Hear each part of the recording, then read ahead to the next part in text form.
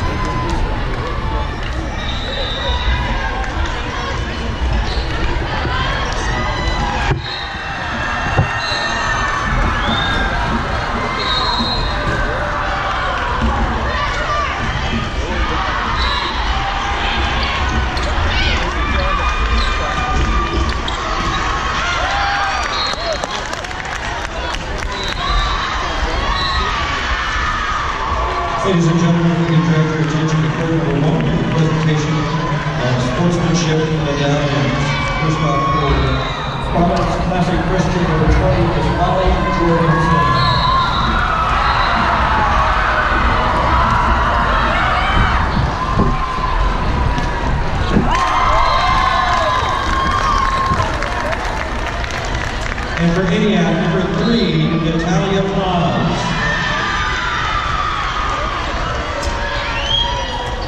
Congratulations, ladies.